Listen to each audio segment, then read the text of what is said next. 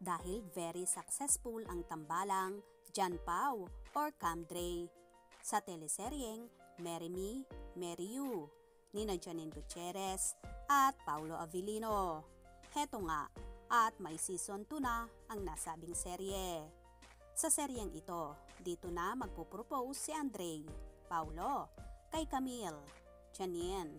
Maraming Jan Pao followers ang inaabangan ang season 2 na kilig na kilig to the max ang mga followers.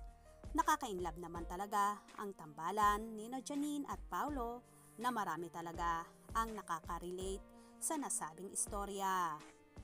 Maraming twist ang mga mangyayari sa Marry Me, Marry You Season 2 na yon at magkakaroon ng mga maraming pagsubok ang kani-kanilang mga pamilya.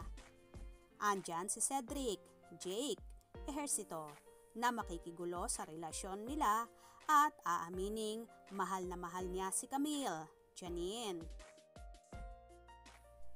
Si Cedric ay best friend ni Andre. Ganon pa man, hindi magpapatinag ang relasyon ni na Camille at Andre.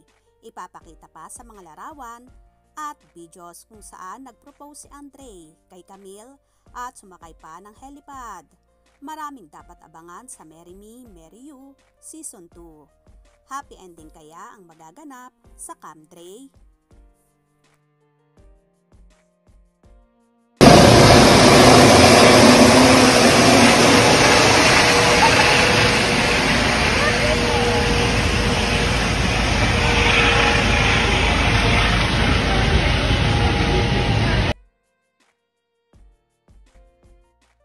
Cam, hindi papatibag. Kahit anong problemang dumating, kakayanin natin ng magkasama. Abot langit ang kilig sa pagsisimula ng kanilang road to forever. I can't imagine spending the rest of my life with anyone but you.